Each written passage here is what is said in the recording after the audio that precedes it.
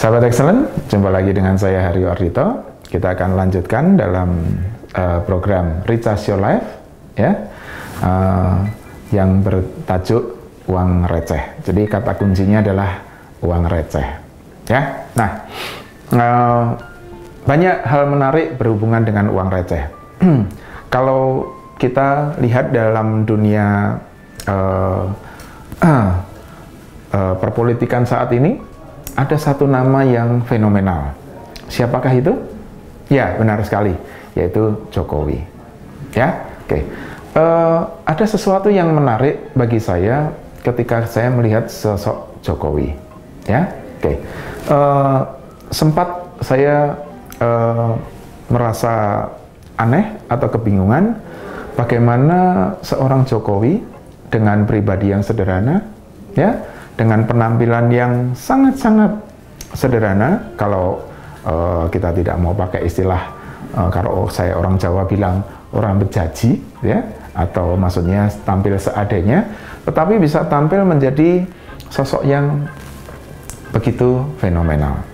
Tentu ini bukannya tanpa sebab ya. Oke pernah satu ketika kalau anda juga menyaksikan ya coba lihat di videonya di YouTube ya anda bisa melihat uh, salah satu uh, peristiwa di mana uh, saat itu Jokowi dalam uh, dalam satu acara bersama Presiden SBY ya ketika itu Presiden SBY mau memukul gong tetapi terhalang oleh speaker dan uh, ternyata ada sesuatu yang menarik yang dilakukan oleh Pak Jokowi yaitu apa?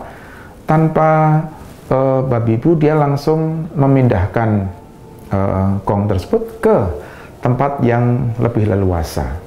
Ya, benar-benar di luar dugaan orang-orang karena apa? Karena Jokowi langsung action, karena dia langsung melakukan gerakan untuk memindahkan. Nah, kata kuncinya di sini adalah gerakan. Ya, apa hubungannya dengan kisah tentang uh, rekan uh, saya Sise tadi yang dia mendapatkan promosi jabatan? Ya, benar. Yaitu adalah gerakan.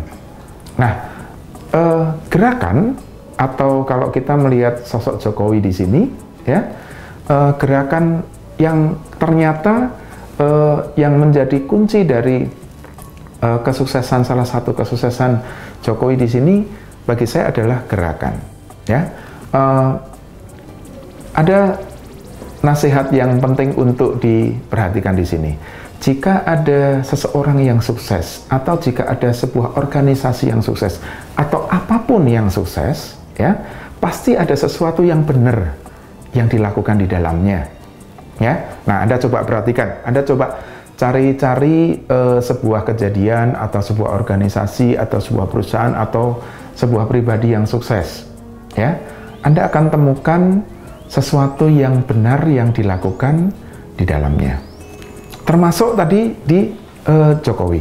Mes, uh, meskipun ini bukan salah satu, ya ada banyak hal ya uh, yang dilakukan oleh Jokowi. Ibaratnya uang receh, entah apakah karena dia sosok yang uh, orangnya actionable, entah karena dia seorang yang tulus, entah karena dia seorang yang uh, jujur, apa pun. Tetapi ada satu hal yang uh, akan saya tarik di sini dari sekian uang receh yang terkumpul dari uh, sosok Pak Jokowi, saya akan uh, menarik satu hal yang uh, penting di sini yaitu adalah gerakan.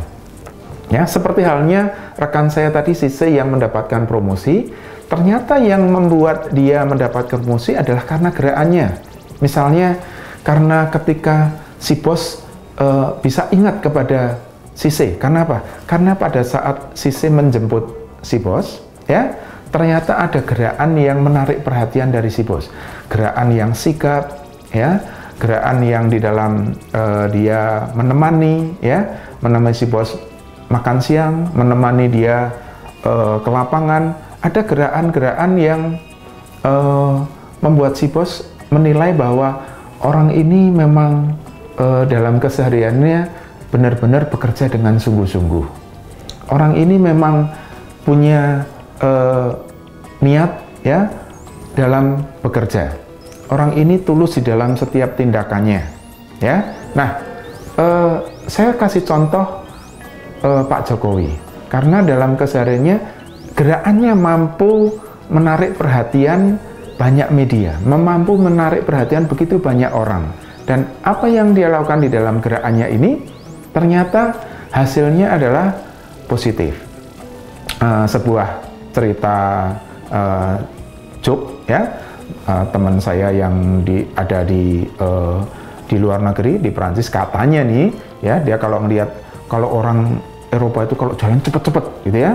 Kalau ada orang yang jalannya uh, nyantai-nyantai lambat katanya itu orang Indonesia. Tapi saya nggak percaya itu ya.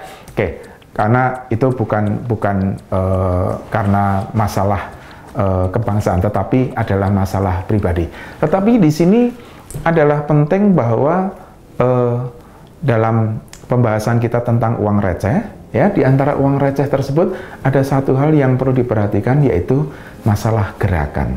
Nah, sahabat excellent, coba perhatikan di dalam kehidupan Anda sehari-hari, di dalam beraktivitas, bagaimana gerakan Anda. Apakah gerakan-gerakan Anda ini uh, membuat Anda dinilai sebagai orang yang sikap, sebagai orang yang dinamis, sebagai orang yang bisa dikerja, sebagai orang yang bisa diandalkan, sebagai orang yang punya inisiatif, atau sebagai orang yang uh, bisa dipercaya, bisa dari gerakan uh, Anda memang Anda dilihat sebagai orang yang beda dari yang lainnya, yang pasti gerakan-gerakan Anda ini adalah bagian dari uang receh yang bisa Anda kumpulkan dalam keseharian dan percayalah ya, ketika uang receh ini nanti sudah terkumpul, nilainya begitu besar dan mampu membuat Anda sebagai orang yang benar-benar bernilai. Nah, sahabat excellent, seberapa nilai Anda dari uang receh yang Anda kumpulkan? Apakah itu dari gerakan Anda? Apakah itu dari karya-karya Anda? Kita akan lanjutkan dalam pembahasan kita berikutnya yang bertajuk uang receh setelah yang satu ini.